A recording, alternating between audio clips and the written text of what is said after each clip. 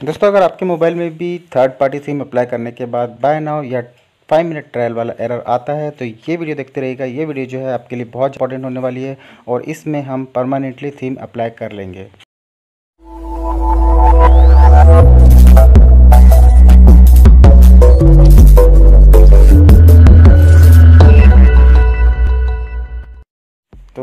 मेरा नाम है अतुल और स्वागत है आपका अपने यूट्यूब चैनल अतुल टेक बाज़ार में। दोस्तों, अगर इस टाइप का एरर आपके मोबाइल में रिसेंटली आपको देखने को मिलता होगा, जब भी कोई आप थीम अप्लाई करते हो थर्ड पार्टी थीम तो यहाँ पे आपको बहुत सारे एरर आ जाते हैं बाय नाउ और फाइव मिनट ट्रायल वाला।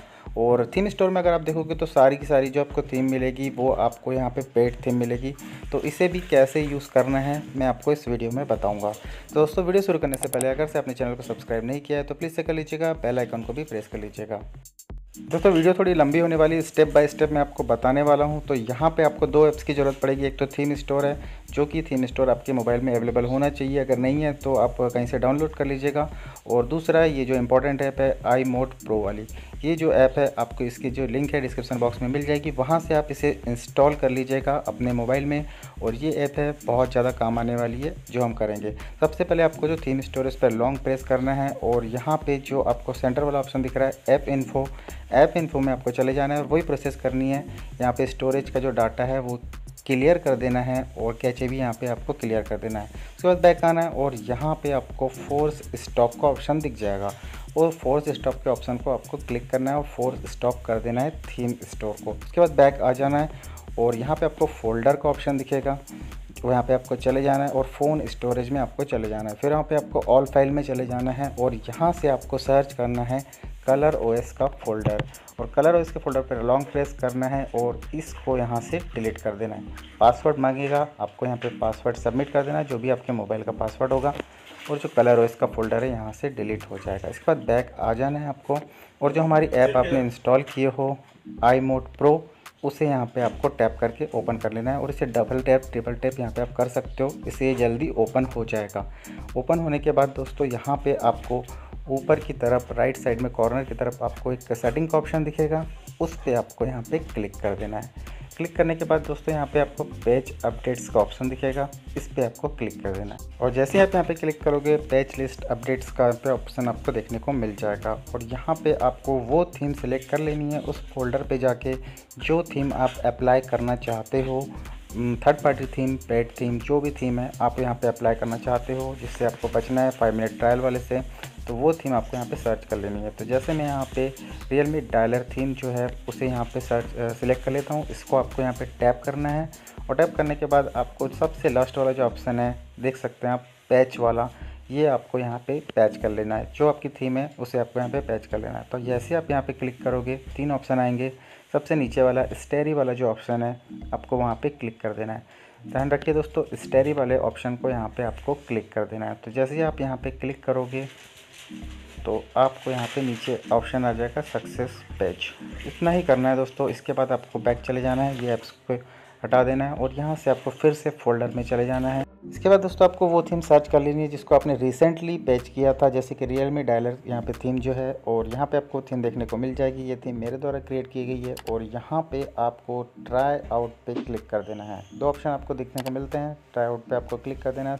इसके बाद दोस्तों यहाँ पे आपको डोंट की वाले ऑप्शन पे क्लिक कर देना है, और आप यहाँ पे देखोगे कि फाइव मिनट ट्रायल वाला ऑप्शन आ रहा है। तो इसकी कोई बात नहीं, कोई दिक्कत नहीं, हम इसको बाद में फिक्स कर देंगे। अब दोस्तों हमें यहाँ पे कुछ नहीं करना है। सीधे सीधे यहाँ पे आपको फोल्डर में फिर से चले जाना है और वही प्रोसेस करनी है जो कि आपने कलर ओएस के फ़ोल्डर को डिलीट किए थे। आपको चले जाना है और यहाँ पे आपको फिर से कलर ओएस का फ़ोल्डर को चूज़ कर लेना है और यहाँ पे इसे सेम वैसे ही डिलीट कर देना जैसे आपने पहले स्टेप में किए थे। उसके बाद ये कलर इसका जो फोल्डर है यहाँ से डिलीट हो जाएगा और इसके बाद दोस्तों आपको थीम स्टोर पर चले जाना है बैक करना है।